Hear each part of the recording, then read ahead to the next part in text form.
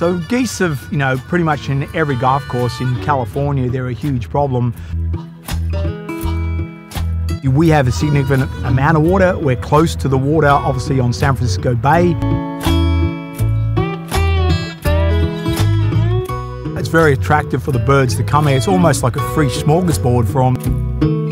At this time of the year, there could be flocks of several hundred uh, geese, and if they all do a pound and a half a day, that's a lot of uh, goose poo, as they say.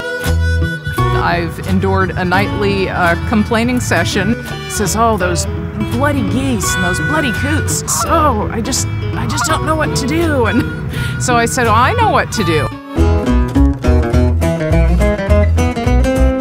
This is Paint. He's a two-year-old border collie. He's a very smart boy. As soon as I give him the command, off he goes.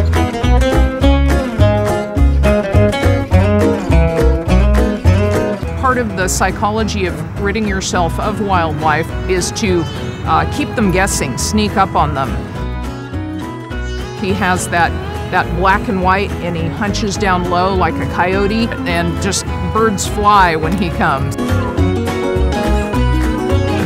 Where I come from in Australia, you know, if you were talking to me about a kangaroo problem or a goanna problem, I'd be right at home. But geese, it's like, you know, we don't have any geese problems down there because between the dingoes, the crocodiles, yeah, the geese wouldn't stand a chance.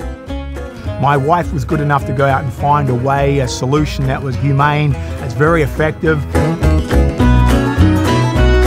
We're trying to basically get to a point where um, you know the, geese find it unattractive to come to the site. If we can get that, uh, I'll be a happy camper.